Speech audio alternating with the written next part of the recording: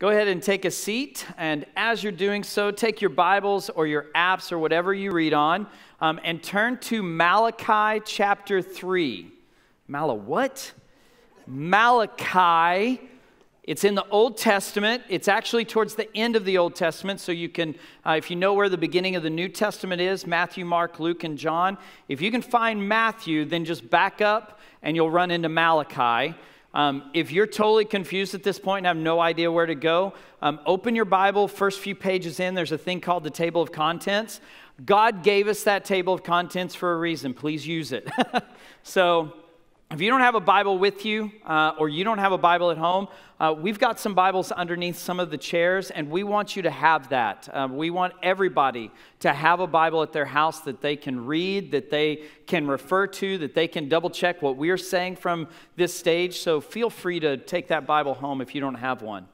Um, so today, we're in Malachi chapter 3, um, and our topic today is tithing. Now, we're in this series, Money Talks. Uh, what does it say other than goodbye? Um, but today we're talking about the tithe. And this is an uncomfortable topic. Let me just call it out for what it is. Um, this is not one of those sermons that I uh, get ready for and I go, man, I can't wait to preach this one. No, this is one of those that I look at and go, man, I wonder what complaining email I'm going to get after I preach this message. Because inevitably, anytime that we talk about money here at Calvary, we get complaints. It's the one topic that makes people mad at us. Um, uh, we'll not get a complaint for months on end, and then suddenly we talk about money for two minutes and we will get emails the next day. It happens every time. And I think that Chad addressed this the best last week. So I'm basically going to repeat what he said last week. Um, here's what he said The biggest complaint we get about this topic is why don't you just stick to biblical topics? Why do you have to talk about money? Why don't you just talk about what the Bible talks about? That's what we hear. And so let's address that for a second. If you were here last week, don't cheat. But when it comes to the Bible talking about belief, about believing in God or believing in Jesus, the Bible addresses that 272 times. That's a lot of times it talks about it. Uh, what about prayer? Prayer is kind of a constant theme, theme in God's Word, right? It's kind of a big deal to us as God followers, as Jesus followers. It talks about praying 371 times throughout all of the Bible. That's a lot. What about love? I mean, it's been argued that the Bible is just one massive love story from God to his people. And I think that argument's actually correct. The Bible talks about love 714 times. Now, again, don't cheat if you were here last week, but knowing those numbers, belief, prayer, and love, and how many times the Bible talks about those things, how many times do you think that the Bible talks about giving or tithing? Over 2,000. Someone's cheating over here. I Man, word for word what Chad said last week. Over 2,000 times that the Bible talks about this. So, we at Calvary, we believe that the Bible is the inerrant, inspired Word of God that tells us what to believe and how to live. And so, if we're going to be faithful to preach what God's Word says, we have to talk about this we have to address this topic. Um, so let me put in just a really quick disclaimer though. If you're sitting here and you are not a follower of Christ, okay, you, you do not have a life changing relationship with Christ, I am so glad you're here. But this message does not apply to you at all. Because the command to tithe is exclusively directed to followers of God. It does not apply to those who do not follow God. So if you're sitting here and you're not a believer in Jesus Christ, you are welcome. I'm so glad that you're here. But maybe you want to play a video game on your phone while I preach because this message just doesn't apply to you at all. Um, if you want to listen, great, but just understand that this isn't for you. This is for the followers. So let me, before I go any further, let me address the definition of tithing because I've been throwing around this word for the last four minutes and haven't defined it. And it's a church word, right? I mean, when was the last time you were out in the community talking to a buddy and was like, dude, the tithe this week was awesome? We just, it's a church word, right? Totally in this house, not used outside of this place. Okay, so what is a tithe? A tithe or tithing is the command given by God to his people to give 10% of everything he's given us to go to the works that happen in his church. In other words, the ministry that happens in his church.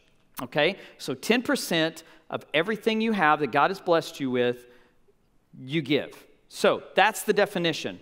So let's talk about the misconceptions, the things that we hear at Calvary when we talk about tithing or money. Uh, I've already given you one of them. Why can't we just talk about what the Bible talks about? That's one, right? The second one that we hear a lot is Isn't the tithe an Old Testament thing? Didn't Jesus do away with that?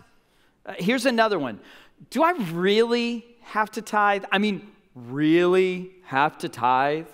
Um, and one that's tied to it, that's uh, uh, similar, is Will I tithe my time? So do I have to tithe my money? And the, the last one is my all time favorite, and, it's this one. Well, you know, I don't tithe because I don't trust the church and how it spends its money. So I'm just not going to give. So, those are the things, if you were to kind of sum up all the things that we hear from people when we address this topic, those are the, the, the, statements or the questions that we hear the most. And I want you to notice there is a common thread in all these questions or statements, and it's this I want to know what is the bare bones minimum that I have to do to be okay in the eyes of God. Now, I don't know about you, but when I became a follower of Christ, it wasn't about squeezing by just enough to get into the pearly gates, right? That God doesn't say, love just enough to make me happy. But once you reach that point, you don't have to love anymore. Is that what God's word says?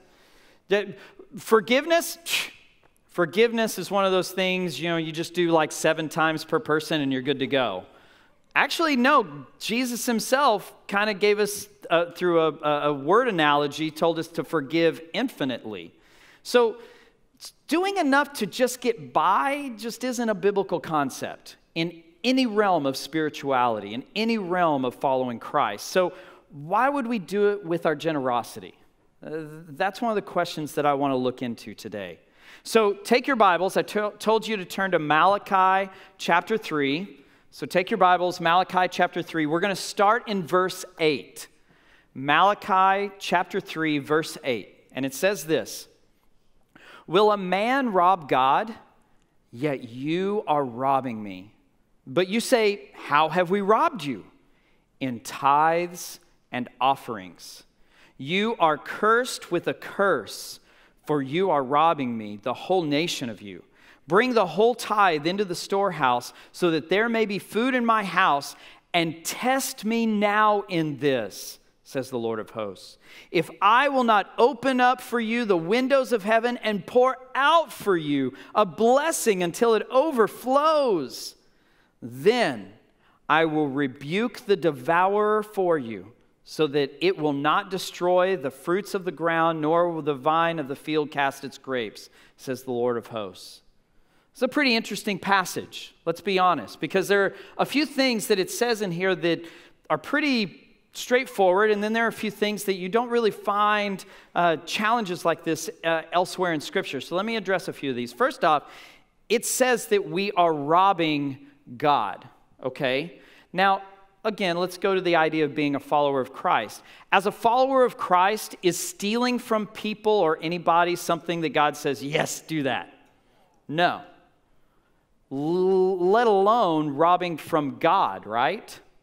Uh, I mean, if, if God is saying we're stealing from Him, we should probably take that pretty seriously because that's some strong language that God's using here. Also, I want you to notice that this is one of the only passages that you'll find in Scripture where God says very clearly, Try me, test me on this, and see if I won't blow your mind. That's the OC translation. If I won't blow your mind with the overflow of blessings that I will pour into your life. Test me here. If you will tithe, if you will test me in this, I will pour so many blessings into your life that it will overflow. Now, Chad addressed it last week. We're not talking necessarily about financial blessings here, though. Eh, there are many, many ways where God blesses us, but all too many times I hear people talking about, yeah, you know, I, I, just can't get a leg up financially. Man, my car broke down last week and it was broke down three weeks before that. And, and this bill came in that we were totally not expecting. And then this thing happened and we had to pay for this. And I always ask people when they come to me with things like that, well, are you tithing? Because I don't know about you, but if I walk into my house and catch a robber taking money out of my safe and putting it in his pocket, and he looks at me and goes, oh, How embarrassing. I didn't think you were going to be home. Uh, this is crazy. Hey, while you're here, can I borrow a thousand bucks? Am I going to give someone who is stealing from me, caught in the act, am I going to turn around and give him more money? No. But this passage says that that's exactly what we ask God to do. So when we are having a hard time catching up financially, there are usually two culprits. There's either you're just not managing your money well, you know, you're, you're making pretty bad decisions with the way you're spending, or, and or, you're not tithing. And so, of course, your car's breaking down all the time because God's not blessing you there. And I can attest to this. My mechanic is sitting in this room right now, okay? And I took my little, I've got a little car that we recently got, and it was rattling really, really, really, really bad, like troublesome rattling, like the engine was rocking the car kind of rattling. And so I took the, the car to my mechanic. My mechanic explains listen, dude, your, the motor mounts on your vehicle are gone. They're completely deteriorated, and it's destroying the engine and the frame of your car. It's going to cost $500 to fix it. And so I go, okay, let me call my wife and talk to her about it. Jana goes, God will provide. And so we took care of paying the mechanic and paying that. And in the last month, God has brought two weddings into my lap, to, which has paid completely for the repairs of that car. Unexpected income for an unexpected bill. Hey, guys, eh, what I'm talking about here is if you want things to work out financially, you've got to be faithful financially. If you're robbing God, He's not going to honor you financially. And so that's the concept that he throws out here in Malachi chapter 3. So let's talk about an explanation of the tithe. Let's give you a little, I want to give you a little background on where this concept comes from, where it came from.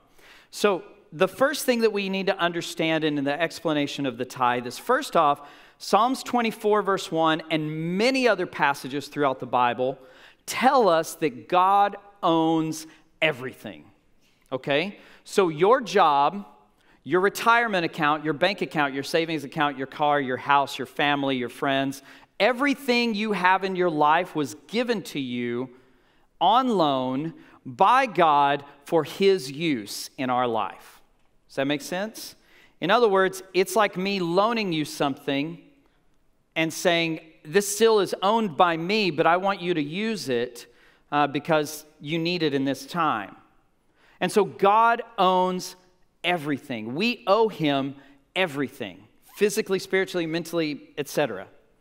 The first tithe recorded in the Bible is found in the book of Genesis. If you Genesis is the very first book of the Bible, and in chapter 14 of the book of Genesis, we read about a guy named Abraham. Now, Abraham was this huge uh, man of faith. He, he, he established a lot of what we believe, and God spoke to him and did some amazing things. But specifically, in chapter 14, we find that Abraham has gone off to war because a king has come in and invaded these cities taken people captive, and of the people taken captive, some of Abraham's relatives were the ones taken captive. So Abraham goes off, gathers his guys, goes off to war, fights this king, wins, sets the captives free, and comes back. And when he comes back, he is ministered to by a guy named Melchizedek. Weird word, do not name your children this. They will get ridiculed. But Melchizedek comes in, and the Bible describes him as a priest to the Most High God, to our God. And he comes in and he offers sacrifices to God on behalf of Abraham. And he does his priestly pastoral duty to, to bless Abraham and help Abraham. So Abraham, in response, gives him 10% of everything he has. And then we find later on that Abraham's kids and grandkids do the exact same thing with those that minister to them. And then we find, if you read the first five books of the Bible, especially Leviticus, Numbers, and Deuteronomy, we find that that act that Abraham began actually becomes a command to God's people. And God says 10% of everything you take in, everything that you make, 10% of that goes back to my tabernacle for my ministry. Okay? And so that's the Old Testament part. But the question is what about New Testament? Because we're under the new covenant that's found in the New Testament through Jesus Christ. What about the New Testament? Well, I've given you three passages in your notes. It's Matthew 23 23, it's Hebrews 7, verses 4 through 10, and 1 Corinthians 16, verse 1. All of those passages allude to the fact that we are still called to give 10%. Uh, the one in Matthew, Matthew 23, verse 23, actually uh, is interesting because it's Jesus talking. He's condemning the Pharisees. And in that condemnation, he says, You guys give 10% of everything you have, but you don't love justice and mercy and humility. And he, he then goes on to say this, and this is where he backs up what we're talking about today. He goes on to say, Don't neglect the first thing. In other words, don't stop tithing but please start enacting justice and mercy and humility. In other words, Jesus says it's an expectation of mine to tithe, but don't tithe and forget to do the good spiritual things that you're supposed to be doing as well. They go hand in hand. So the Bible confirms, Old and New Testament, that we are called to give that 10%. All right, so that's the business end of tithing. Now let's talk about the point of tithing. First, I want you to understand that tithing is trusting. Tithing is trusting. It's tithing is a trust issue, which means at its base, tithing is a heart issue deep inside of us.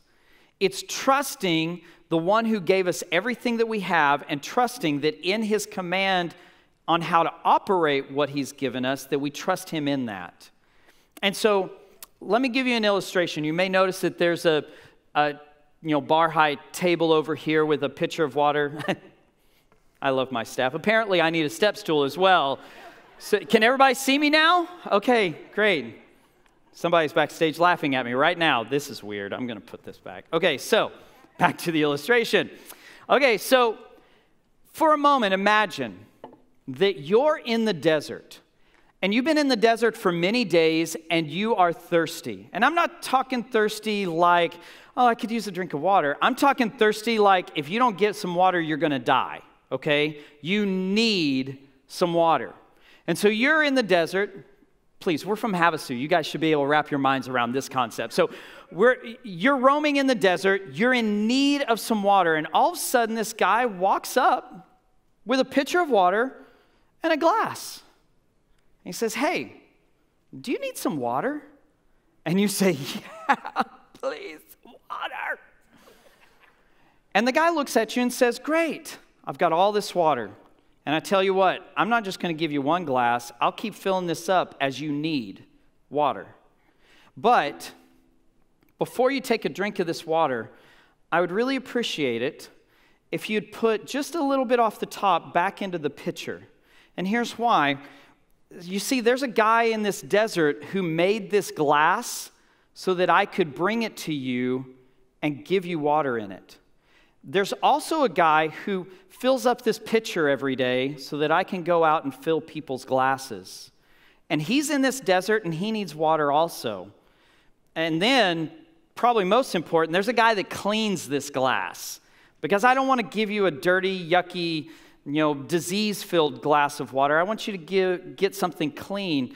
He's in this desert also, and I want to make sure that he gets enough water to, to do, do this ministry. So I ask that I'll keep filling this glass, but I want you to just put a little bit off the top back in the pitcher. Is that an unreasonable request of the person who gave us the water? Not at all. Not at all. As a matter of fact, I would be very appreciative if I was in that circumstance. The, the fact of the matter is, is that the tithe is designed for ministry, okay? The tithe is about trusting the ministry that God has given us and given the church and saying, I trust you, Lord, to take care of this. And this is one of the ways that I show you that trust. So, this brings up one of the statements that I brought up in the very beginning of this message, which is, well, I don't give because I don't trust the church. Well, let me just call it out. First off, I would really hope that because of how we operate and what we do in this community, that you would trust Calvary. Uh, I'll just call it out for what it is. But maybe you're going, you know what, I still don't really trust. Well, let me give you some reasons to kind of help you trust a little more. I want you to know that there are massive levels of accountability in the way we run our finances. So, for instance, I cannot spend a penny of the church's money without that being quadruple checked before it's approved. In other words, there are four levels of accountability that check every single one of my receipts that I spend for or with the church that make sure that the money I'm spending is a godly way to spend money. Isn't that amazing? I mean, to have four people, do I do I get tempted to steal money from the church? No. Because there's four people checking me, making sure that I don't have the ability to take money from this church. But the cool thing on top of that is that, and we talk about this all the time 22 cents out of every dollar that's given here at Calvary goes back out into the community and into to the world to meet the needs of, that God has given us in this community and the world. 22 cents. So we ask you to tithe, and the church actually double tithes because we value this concept so much. We are the biggest giving Southern Baptist church in the state of Arizona. And we have been for a few years now. So we hope that that would help you build trust into how we operate and what we do. But maybe you're still going, yeah, I still don't know that I can trust you guys. Well, let me give you two more things that will help you in that. First off, our treasurer here at Calvary makes a statement constantly. I've heard it over and over and over again. The statement is this At Calvary, we spend the money that you give as if it was God's money because it is God's money. Our treasurer makes that statement constantly. I bet I've heard him say that exact statement half a dozen, if not a dozen times in the last six months. He always says that. That's the philosophy that we have in the way we use the money that you give. But the other side, if you're still not trusting, if you still don't know if you can trust us, is this. If you don't trust Calvary and the way it spends its money, then come check out how we spend our money. You can call the church at any time during office hours and make an appointment with one of our financial team members, and we will open up the books for you and let you see how every penny is spent. We have done that for years. We have had an open transparency policy with our finances for years and years and years because we want you to know where the money goes and how it's being spent so that you can trust us. We have nothing at all to hide from you. We are open and transparent with that. So if you don't trust us, come make an appointment and we'll change your mind because we will show you how we're using God's money in His way. So, but ultimately, let's be honest here. Is not tithing, is that a Calvary issue or is that a trusting God issue? It's a trusting God issue.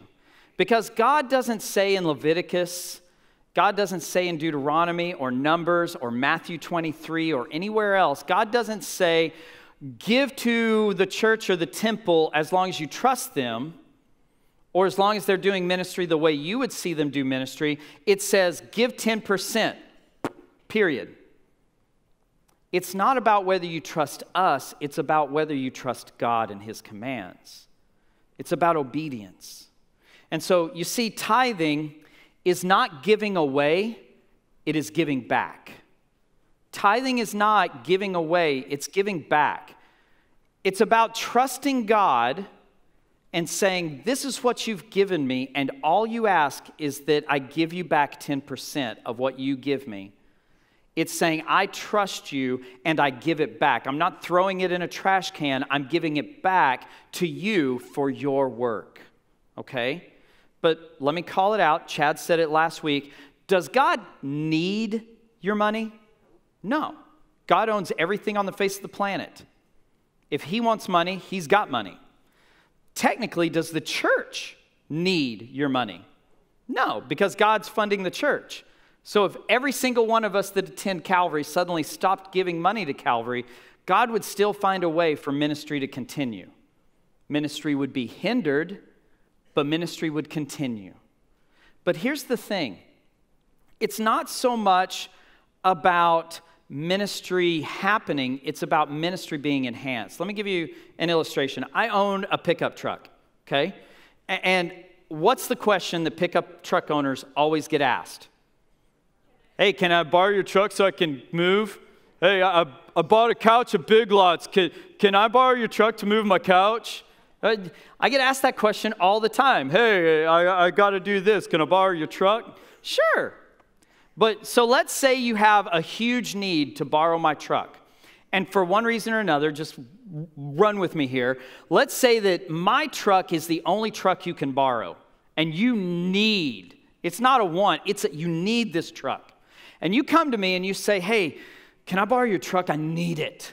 And I say, Of course you can borrow my truck, but I do ask two things. First, I ask that you care for it. You know, in other words, I don't want to see you in the newspaper doing donuts in the police parking lot, okay? So I want you to care for my vehicle. And the second requirement that I ask is for if you drain my gas tank, if you use 30 gallons of gas, I want you to put two gallons back in or three gallons back in. Is that an unreasonable request? No. I mean, if you show up with my truck after borrowing it and you've used an entire tank and it's running on fumes and I don't even have enough to get it to the gas station to fill it back up, that's kind of a cruddy thing on your part, right? Y'all are horrible people.